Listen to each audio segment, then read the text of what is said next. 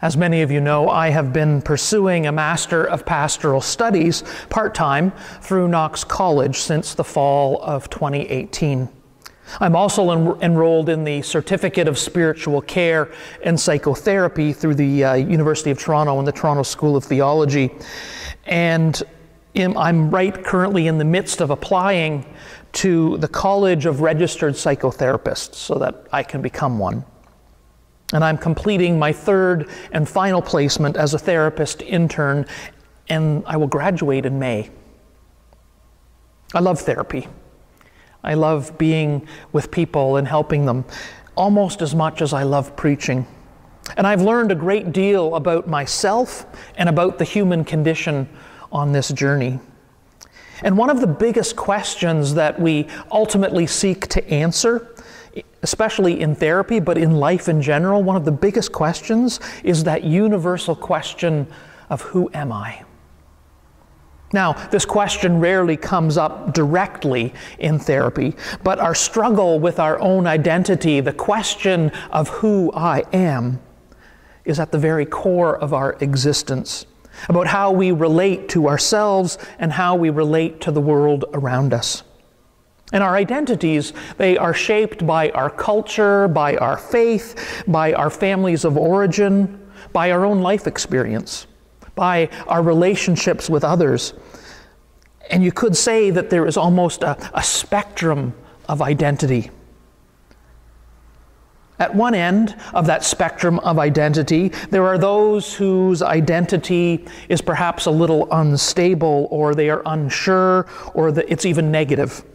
Perhaps they come from a broken home, and instead of love, they experienced abuse physical, emotional, spiritual. They, or they've experienced abuse at some point in their life. Or perhaps their identity, which was once further over on the continuum, perhaps their identity has just shifted or been shattered by a life altering event, right? A divorce, a death. You get the idea. But on the other end of the spectrum, of the identity spectrum, are those people whose identity is so firmly fixed that there's no room for growth or change. That at the slightest threat or the slightest questioning of their identity, of who they are, they either lash out defensively or they retreat from the threat. Because anything that forces them to question their identity or, or cause them to perhaps have to change or the possibility of change, it scares them because they're so fixed on that. And so they, they run and hide. And then, somewhere in the middle between these two identity ends of the spectrum, somewhere in the middle, there's a sweet spot a sweet spot of where we are able to hold our identity, to know who I am, and yet somehow hold it loosely enough that as I experience life, it can grow and change. And we don't see that as threatening. We come to new understandings of who I am. Now, and I hear some of you saying, so where is all this talk about identity and who I am? Where is it coming from? And how the heck does it relate to our scripture passages this morning? And for that, I am indebted to Chelsea Harmon.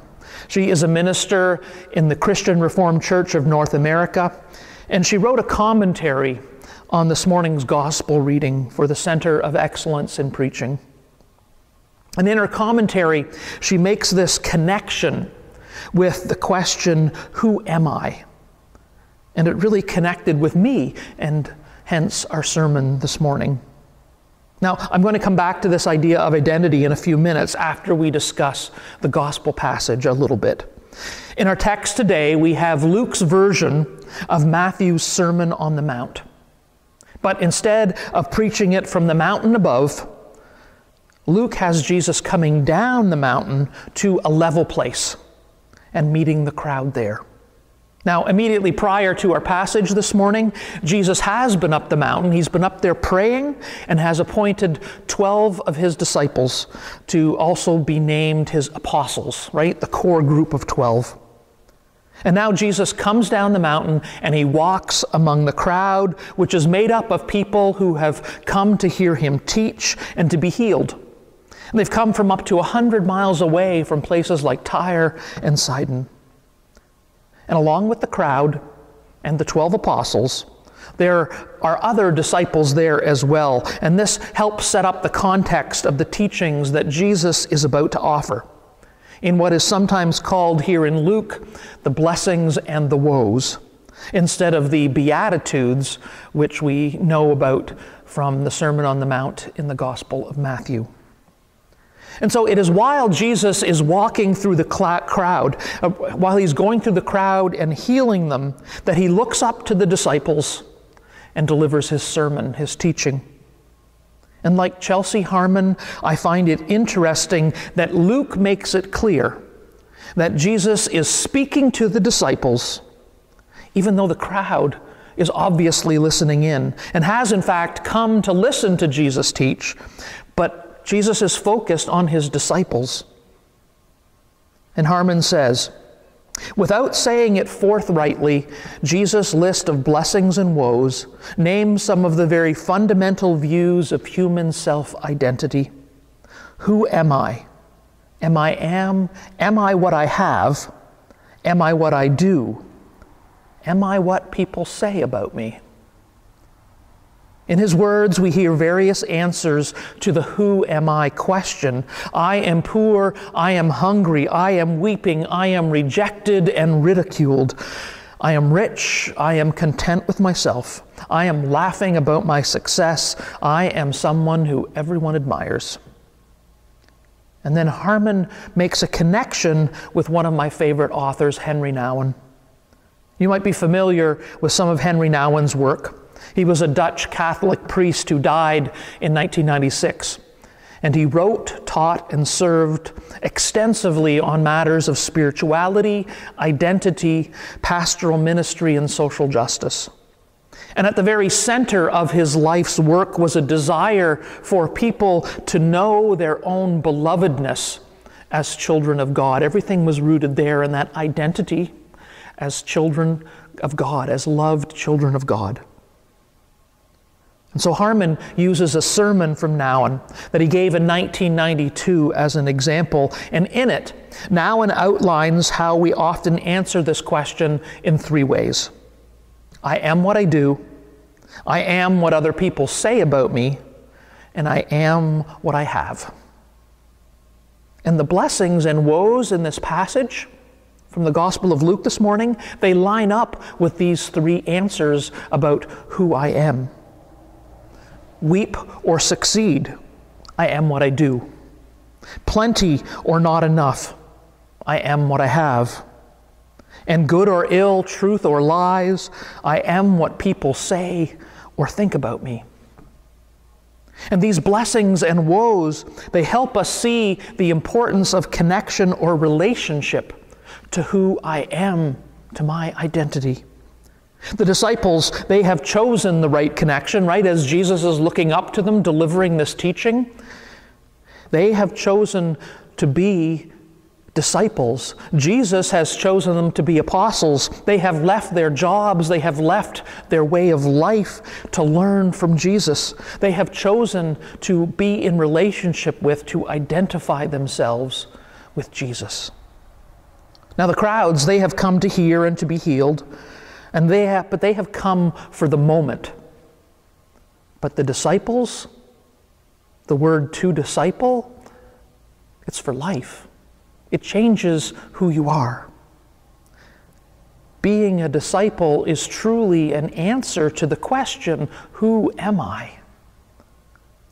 And so, as identities, the descriptions that we use are deeply rooted in us. They describe the connection or the relationship that we hold with what we believe to be true, whether it's positive or negative.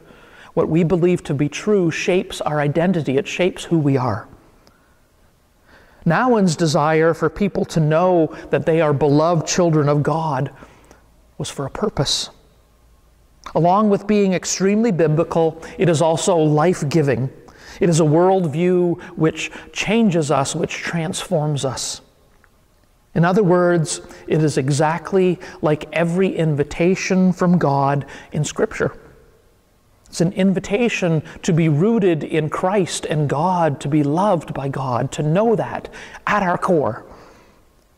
Now, as a therapist and as a Christian, I believe we need to reevaluate our thoughts about identity based on how this passage tells us to answer the question Who am I? As followers of Christ, it is not about choosing to be poor or hungry or always be mourning or willingly seeking out rejection and insult. Just as we are not to seek out being rich or being content with ourselves or becoming uncaring to the needs of others while we live the good life, or to try and be a friend to everybody and stand for nothing. No, the point that Jesus is making here is about connection about relationship. He's helping to give the disciples something about their identity to hold on to when the going gets tough. In spite of having experiences of need, of poverty, of hunger, of grief, of rejection, as long as Christ's disciples are connected to Him, as long as they, they base their identity on being rooted in Jesus, and I'm including us here as disciples, as long as we are connected to Him, as long as we are in relationship with Him, we are blessed. And not only are we blessed because we belong to Him, we will experience the great reversal, right? That great upside down movement that is the kingdom of God. Because we are promised the kingdom of God, a place where we will be filled, where we will experience joy and grace and hope. And so, this identity, this connection, this rootedness in Christ, it propels all of Christ's disciples out into the world in any time and in any place, into the great future that God promises. Jesus says that his disciples are blessed when these sufferings on our, are on account of their relationship to him as the Son of Man. And he says that when other people see this relationship to Christ so clearly that they respond to it, even if that response is negative, then his disciples ought to rejoice and leap for joy to know that their reward, the fulfillment of their identity, is yet to come. They are living into that identity. And notice the implied connection here that underlies all of these woes. Instead of God or Jesus Christ, those to whom the warnings apply appear to be connected only to themselves, only to that present moment not thinking about the future, not thinking about the needs of others, not showing care and concern for the world, only themselves. And their futures are dark and woeful, full of trouble, and the suffering they seem to not have worried about will come. Eugene Peterson offers a great interpretation of verses 24 to 26 in his translation called The Message. But it's trouble ahead if you think you have it made. What you have is all you'll ever get. And it's trouble ahead if you're satisfied with yourself. Yourself will not satisfy you for long. And it's trouble ahead if you think life's all fun and games. There's suffering to be met, and you're going to meet it. There's trouble ahead when you live only for the approval of others, saying what flatters them, doing what indulges them. Popularity contests are not truth contests. So Jesus is standing among the crowds and speaking to his disciples about identity and relationship. He is inviting them and us to continue to choose to be his disciple, to be rooted in him rather than rooted in ourselves or in our circumstances. He is laying out before us the mindset that will allow us to be rooted in Him, allow us to be rooted in the truth, no matter our circumstances. And for me, this really connects with our other readings from the Hebrew Bible this morning, from Psalm 1 and Jeremiah 17. Both of these passages use that image of a rooted tree, as I talked about with the children this morning. In verses 8 to 10, Jeremiah says, They shall be like a tree planted by water, sending out its roots by the stream. It shall not fear when heat comes, and its leaves shall stay green. In the year of the drought, it is not anxious, and it does not cease to bear fruit. The heart is devious above all else, it is perverse. Who can understand it? I, the Lord, test the mind and search the heart, to give to all according to their ways according to the fruit of their doings. Friends, may our roots be planted firmly in Christ so we know who we are and the world knows whose we are. Amen. Our hymn, number 574, with the Lord as my guide.